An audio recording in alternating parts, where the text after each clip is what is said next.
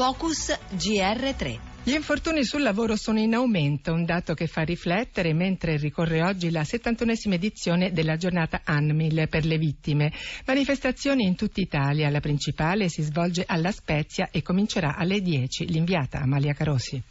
Non scende la curva degli incidenti sul lavoro, anzi con la ripresa economica risale il numero degli infortuni. Quest'anno da gennaio ad agosto sono stati 350.000, l'8,5% in più rispetto allo stesso periodo del 2020, ma diminuiscono i morti, il 6,2% in meno. Giovanni Luciano, presidente del Consiglio di indirizzo e vigilanza dell'INAIL, alla vigilia della 71esima edizione della giornata ANMIL per le vittime degli incidenti sul lavoro, fa un bilancio. Negli ultimi 15 anni restiamo sempre intorno intorno ai 1150 morti all'anno, con una media di 3 al giorno. E poi conti in tasca all'ente, ma che vanno letti come quello che resta ai parenti delle vittime di morte bianca. Le rendite erogate dall'INAIL sono circa 103.000, anche qui un numero simile a quello registrato negli ultimi 5 anni. Le rendite globali per i superstiti per chi ha un'inabilità permanente ammontavano nel 2020 a 4 miliardi e 422 milioni di euro, valore praticamente costante negli ultimi anni, anche qui a ricordarci che il numero di morti sul lavoro non riesce a invertire la rotta.